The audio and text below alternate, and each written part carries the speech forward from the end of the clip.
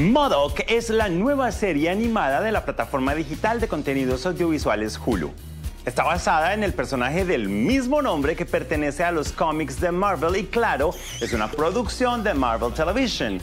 El show está hecho en la técnica de stop motion, es decir, todo es creado físicamente y se va manipulando poco a poco, capturando imágenes que luego se unen para generar movimiento. Dianita, ¿expliqué bien? Mejor no pudiste explicarlo. Perfecto. Gracias, lo logré. El argumento se centra en la vida de este villano, quien luego de pasar años y años tratando de controlar el mundo e intentando derrotar a los superhéroes, ha sido expulsado de su compañía pues ha quedado en bancarrota. Entonces, Modoc empieza a enfrentar sus líos familiares y la crisis de la Edad Media. Uno de los creadores de la serie es el actor Patton Oswalt, quien también da voz al personaje principal. El rol de Jodie, la esposa de Modoc, está en manos de Amy García, con quien hablé de manera virtual. Vean esto. They called me Big Head. One day, that big, beautiful, womb-wrecking head of yours is going to change the world. Hola, Amy, ¿cómo estás?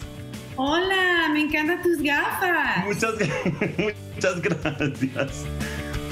¿Cómo va todo contigo? Ay, muy bien, muy bien. Ya sabes, aquí estoy en Montana, que está, está precioso aquí. Dicen que hay 300 pescados a una persona y en Los Ángeles hay 300 personas a un pescado. Así que estoy en un lugar con puro animal. No puedes quejarte de ese entorno. Óyeme, ¿cómo fue el proceso de encontrar el tono, color y ritmo específico de la voz de este personaje de Jodie? Ay, pues me encanta. O sea, ella es una esposa en animación que nunca hemos visto. Normalmente las esposas dicen sí a todo en animación. Sí, mi amor, lo que quieras, lo que quieras. Pero me gusta que ella es una mujer que está casada con un supervillano. Entonces ella tiene que tener morales flexibles y, ella es fuerte y encuentra su independencia después que tiene hijos, después que ha estado casada por 20 años. Entonces es muy única porque ella también se convierte en supervillana. We have to tell the kids about us. Kids, she's lost her mind. You have to stop her.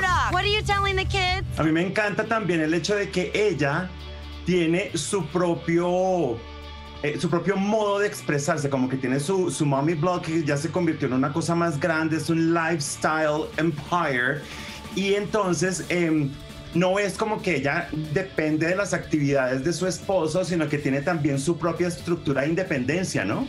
Sí, exacto. Y eso nunca lo hemos visto. Y, y lo que me gusta es que Mora, que es un egoísta. Entonces, ¿qué pasa cuando tú debes de ser la estrella como moda? Tú eres el supervillano, tú quieres destruir el mundo, pero ¿qué pasa cuando tu esposa eh, escribe un libro, hace un mommy blog y se hace tan famosa que ella se convierte en la estrella y ella empieza a salir con Avengers y ella empieza con el paparazzi y ella empieza a salir con alguien que tiene músculos y que se llama Wonder Man. O sea, es tan chistoso porque a un egoísta supervillano no le va a gustar eso. MODOK! And do you know what MODOK stands for? Mental organism designed only for killing. Patton Oswalt está haciendo algo también maravilloso con su voz. Y yo quiero saber si tú has tenido interacción con él directa en estudio o si tú grabas tu parte en otro lado independiente de él. Pues normalmente lo hacemos independiente, pero el episodio final lo grabé con él. Y él es fenómeno. Él puede, en un segundo es Morak, voz alta, haciendo, queriendo destruir gentes, este, dándole balazos y cortándole los brazos a la gente que no le trae su café. Entonces, él es un anti-hero él es un supervillano y lo estás apoyando. Entonces lo que me gusta de este show es que siempre vemos los supervillanos en la batalla. Siempre vemos los supervillanos como solamente supervillanos.